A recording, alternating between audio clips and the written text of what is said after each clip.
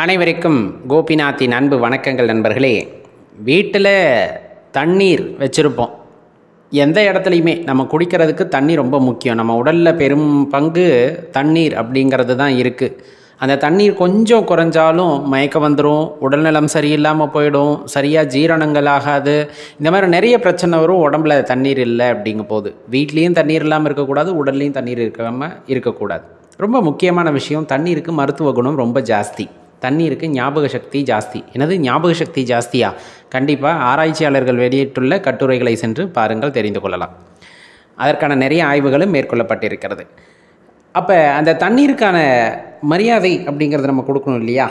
அப்படி கொடுக்குறோம் அப்படின்னா அதை தான் நம்ம வந்துட்டு தெய்வங்களாக வழிபடுகின்றோம். அந்த ஆறுகளை ஜீவநதிகளை எல்லாத்தையும் நம்ம தெய்வங்களை வழிபடுவதற்கான காரணம் அதுதான். நம்ம உயிர் வாழ்வதற்கு தேவையான ஆற்றல்களை கொடுப்பதோடு மட்டுமல்லாமல் மூலாதாரமாக விளங்குகிறது அப்படிங்கிறனால தான் எல்லா ஆறுகளையுமே நம்ம என்னென்னு பாவிக்கின்றோம் அப்படின்னா கடவுளாகவே பாவித்து வருகின்றோம். சரி வீட்டில் தண்ணீர் வைக்கிறோம்.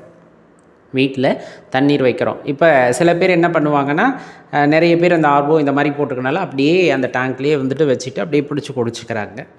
சில பேர் வரும்போது பைப்பை நீக்கி விட்டு தண்ணியை பிடிச்சி குடிச்சிக்கிறாங்க. இதெல்லாம் முறையா அப்படின்னு கேட்டால் கிடையாது. நம்மளுக்கு பழக்கங்கள் இருந்திருக்கு.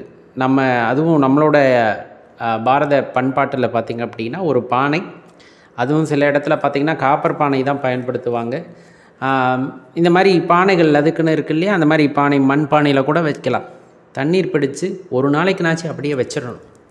ஒரு நாளாவது வச்சிடணும். மண் பானையாக இருந்தாலும் சரி தான் காப்பர் பானையாக இருந்தாலும் சரி தான் இல்லை வீட்டில் எங்ககிட்ட எவர் சில்வர் தான் இருக்குது முடிஞ்ச அளவுக்கு எவர் சில்வரை தவிர்த்து கொண்டு அதுக்கு மண் பானைக்கே நம்ம மாறிக்கலாம். அப்போ எந்த பானையாக இருந்தாலும் ஒரு நாளாவது அதில் தண்ணீர் இருக்கணும் சுத்தமாக இருக்கணும் அப்படின்னு நல்லா தெளிவாக தெரிஞ்சுக்குங்க. அப்போ என்ன பண்ணுவாங்க முன்னாடி எல்லாம் அப்படின்னு உங்களுக்கு நல்லாவே தெரிஞ்சிருக்கும். ஒரு நாள் முழுவதும் வச்சுட்டு அந்த இடத்துல நல்ல வார்த்தைகளை மட்டும் பேசுங்கள் அப்படிம்பாங்க. வீட்டுக்குள்ளே நல்ல வார்த்தைகளை மட்டும் பேசுங்கள் அப்படின்னு சொல்கிறதுக்கு காரணம் அமங்கலமான வார்த்தைகளை பேசாதீர்கள். எதையுமே நேர்மறையாக பேசுங்க அப்படின்னு சொல்லுவாங்க. காரணம் இந்த தண்ணீர்களுக்கு அந்த வார்த்தைகளை கிரகிக்கக்கூடிய ஆற்றல் உண்டு அப்படின்னு சொல்லப்படும். நீங்கள் எதை பேசுகிறீங்களோ அந்த வார்த்தைகளை கிரகிக்கக்கூடிய ஆற்றல் உண்டு அப்படின்னு. இப்போ தண்ணீர்கிட்ட போய் நான் நல்லா இருக்கணும் நான் நல்லா இருக்கணும் நான் நல்லா இருக்கணும்னு சொல்லிக்கிட்டே இருக்கீங்க. அதில் அந்த வார்த்தைகள் எல்லாம் அங்கே உருப்பெறுகின்றன. அதை நீங்கள் குடிக்கும் பொழுது அதற்கான வினை அப்படிங்கிறது உங்களை வந்து சேரும். அதனால தான் அமங்கலமான வார்த்தைகளை தெரியாமல் கூட வீட்டில் பயன்படுத்தாதீர்கள். ஏன்னா அந்த உட்கிரகிக்கக்கூடிய ஆற்றல் உள்ள பொருட்கள் வீட்டில் நிறைய இருக்கும். நமக்கு தெரிகிறதில்ல. எந்தெந்த பொருட்களுக்கு அந்த ஆற்றல் உண்டு அப்படிங்கிறது நமக்கு தெரியறதில்ல அதனால தான் அந்த அமங்கலமான வார்த்தைகளை பயன்படுத்தாமல் வீட்டில் நல்ல வார்த்தைகளே பயன்படுத்திக்கணுங்கிறது. வீட்டில் எங்கேயுமே அமங்கலமான வார்த்தைகளை பயன்படுத்த வேண்டாம். அப்போ அந்த தண்ணீரை வச்சுருக்காங்க. சில பேர் பூஜையெல்லாம் பண்ணுவாங்க. சில பேர் பூக்கள்லாம் போட்டு வச்சுருப்பாங்க தண்ணீரில். இந்த மாதிரி இருக்கும். ஆனால் பொதுவாக அதை ஒரு நாள் வச்சுருந்துட்டு அடுத்த நாள் அதை குடிக்கிறது அப்படிங்கிறது அதுலேயும் அந்த தண்ணியை ப்ளெஸ் பண்ணிட்டு குடிக்கிறது அப்படிங்கிறது கண்டிப்பாக உடலுக்கு ஆரோக்கியத்தை தரவல்லது அப்படிங்கிறத தெரிஞ்சுக்கணும். இந்த மண் பானையில எல்லாம் ஊற்றி வைக்கும் போது அது ஒரு குளிர்ந்த நிலையிலே இருக்கும்.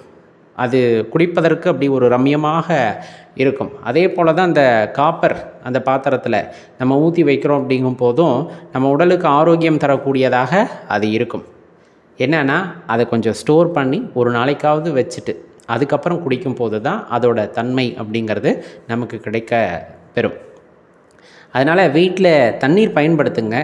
நேரடியாக பைப்பில் இருந்து பிடிச்சோ அல்லது இந்த பிளாஸ்டிக் டப்பாவில் அடைச்சி வச்சோ அப்படியெல்லாம் குடிக்க வேண்டாம். நம்மளோட முறைப்படி மண் பானையிலேயோ காப்பர் பானையிலேயோ வச்சு ஒரு நாளாவது விட்டு அதன் பிறகு அதை வாழ்த்தி தண்ணீரை குடியுங்கள். உடல் ஆரோக்கியமாக இருக்கும்.